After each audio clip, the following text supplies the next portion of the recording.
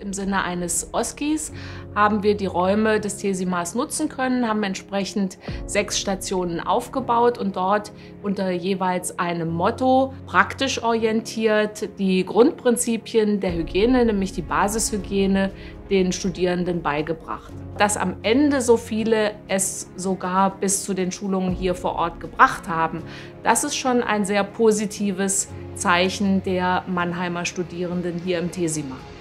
Also ich habe die Mail bekommen, einfach einen Aufruf, dass wir uns melden sollen und ich habe da halt ein bisschen Vorerfahrung in der Krankenpflege durch den FSJ und ja, ich fand es einfach persönlich wichtig, dass man sich ein bisschen einbringt. Bei uns haben sich jetzt 600 Leute an der Uni gemeldet.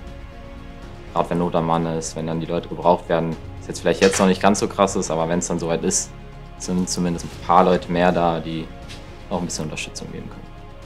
Es kommt dann wohl ein Anruf, zumindest war es bei einer Kommilitonin so. Und dann wird die Station ausgemacht und dann der erste Arbeitstag. Wir tragen ja noch nicht so eine Verantwortung wie jetzt, sagen wir mal, ein Assistenzarzt oder ein Student im PJ. Wir unterstützen mehr die Pflege. Und ich glaube, deswegen fühle ich mich da schon gewappnet.